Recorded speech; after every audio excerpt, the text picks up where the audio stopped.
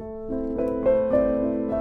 Lo scorso dicembre avevamo dato notizia qui su Media Inaf TV della prima luce di Espresso, lo spettrografo di ultimissima generazione progettato e costruito, come si può intuire dallo stesso acronimo, da un consorzio in gran parte italiano del quale fanno parte ricercatori e tecnologi dell'Inaf di Trieste e dell'Inaf di Brera. Ebbene, non sono passati nemmeno due mesi ed ecco che la notte tra il 3 e il 4 febbraio la luce raccolta dai quattro telescopi da 8.2 metri ciascuno ciascuno del VLT dell'ESO a Paranal è stata combinata con successo nello strumento creato appositamente per questo scopo, rendendo di fatto il Very Large Telescope il più grande telescopio ottico al mondo. La superficie di raccolta della luce è quella di un singolo strumento con lo specchio principale da 16 metri di diametro. Quanto di meglio dunque abbiano gli astronomi oggi a disposizione non solo per cercare esopianeti simili alla Terra, Terra,